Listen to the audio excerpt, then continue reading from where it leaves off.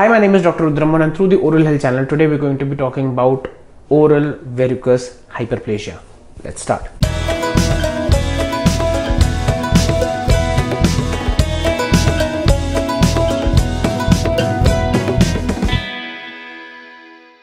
So today is a very interesting episode as a patient of mine inspired me to make this episode.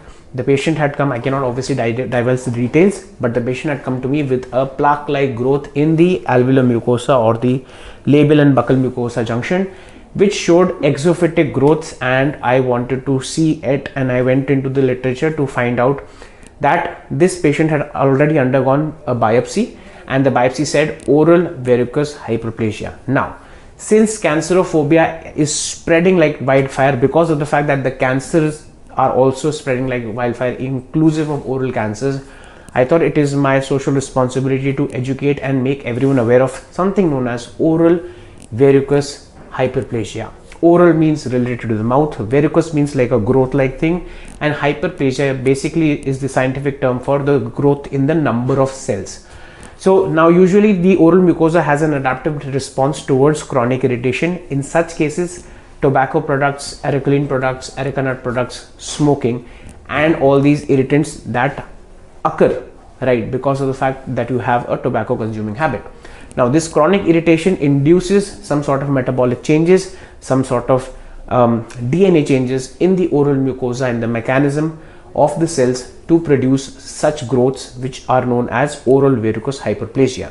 Now, to be very honest, oral verrucous carcinoma is a variant which is the cancer of verrucous type of the oral cavity. Now they are very similar in terms of microscopic characteristics. However, oral verrucous hyperplasia can be treated without having any, you know, uh, you know, compromise on the quality of life compared to oral verrucous carcinoma. What you really need to understand is that it is definitely a pre-malignant lesion. That means oral verrucous hyperplasia is a pre-malignant lesion which has a lot of propensity for it to get converted into verrucous carcinoma. It usually happens in the 6th to 8th decade and it does not have a gender predilection. However, it has a very strong association with areca nut chewing habits, tobacco habits and smoking related habits. So if you are someone who is undergoing through such an ordeal and you are still consuming tobacco or still smoking, I would strongly, strongly recommend you not to do so.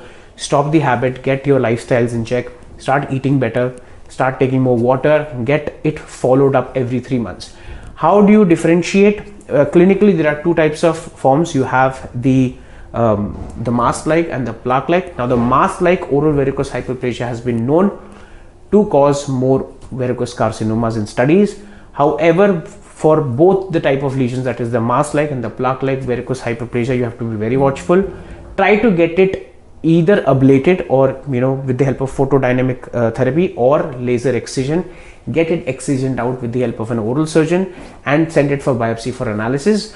On top of that, a recall and review is very important for every three months post excision. Uh, it has been shown to show a high rate of recurrence and that is why the recall and review is very important for every three months post excision and on top of that you have to keep yourself aware of any other untowardly signs and symptoms such as unexplained weight loss uh, loss of appetite, you know, loss of energy, lassitude, night sweats, these kind of things which might give you an idea of something more grave that might be happening. But if it's caught at the right stage and if it's diagnosed histopathologically as oral verrucous hyperplasia, you can stop it in its tracks with just a regular follow-up and making sure that your habits have been taken care of. So this was today's episode. Please like, share, subscribe and do press the bell icon button for important updates. If you want to get in touch with me, here are my social media handles. Kindly refrain from calling me directly as I might be busy with patients. Just drop me a message with your name, your location, and the common oral health problem that's giving you pain and discomfort, and I'll get back to you on WhatsApp within a couple of days. Try to be patient and try avoid calling me because I might be busy with patients or otherwise. And if you have any queries, doubts, apprehensions, insights, or suggestions, please feel free to put them in the YouTube comment section. So that's it for today. Thank you.